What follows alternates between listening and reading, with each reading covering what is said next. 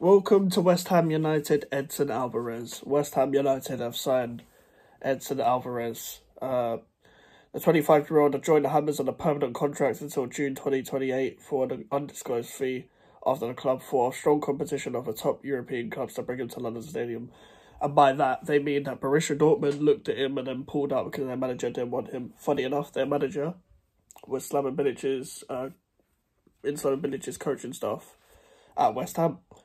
Uh, a strong and versatile midfielder, Alvarez moves to English football from Dutch club Ajax, where he won two Eredivisie titles less than a month after winning his second CONCACAF Gold Cup in Mexico. Capped 60 times by his country, he has extensive European experience of Ajax and is now looking forward to playing the Premier League and Europa League football West Ham. Ajax, I'm pretty sure, are also in the Europa League, so that should be interesting. Um, he's now they interviewed him as well. He said, "I'm very ha- happy and very proud to be here." He speaks fluent English. Obviously, in Amsterdam, I think, or in the Netherlands, it's uh, required that you also learn English. I'm pretty sure.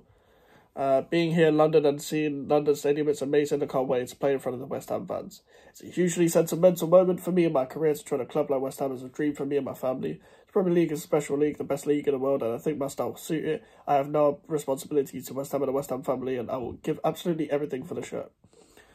Uh, David Moyes has said, We're really pleased to add Edson to our squad. The midfield area was one we were especially keen to strengthen this summer, and Edson will complement the other options we have in that department. He's an experienced international player who has enjoyed great success for both club and country during his career to date. We're excited about welcoming uh, welcoming him to West Ham and seeing him play his part in English and European competition for the club. He's going to wear the 19 shirt, uh, if you wanted to know that. Uh, northern. He was born in northern suburbs of Mexico. Uh, he actually appeared for Mexico at 20 years old in the World Cup in 2018 as well.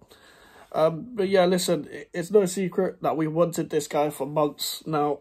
It was even reported by David Ornstein, I think, that, and uh, the the Dutch journalist, the Mike Vergage guy, um, that um, we wanted to bid him for. We wanted to, that uh, he thought we would get him for forty million anyway, and it looks like that is the case. Uh, I think undisclosed fee because there's probably bare add-ons and stuff like that. And usually they don't. They just don't want to tell the price to the fan. Sometimes that is a thing about undisclosed fees as well. And uh, according to ex West Ham employees, yet to be said whether he'll be fit for the Bournemouth game, um, because he hasn't played in pre-season and he only played in the Gold Cup. Um, yeah, he didn't play in preseason because of the whole Gold Cup thing, and he got obviously extensive leave. Um, for me, just throw him in. In my opinion, throw him in. I'm not expecting him to fucking be outstanding uh, straight away. I'm just expecting him to put to do his role, and he's good on the ball, man. He's good on the ball, and that's what we need. Um, unfortunately, we're getting Maguire, who's not good on the ball, but um, it is what it is, man. That is, uh, we need to keep Paquetá, man, uh, to complement him because him and they could they could combine really well. Him and Ward Prowse and Paquetá, that's actually a decent midfield. I know people don't like it, but I, I, I, I'd actually be happy with that.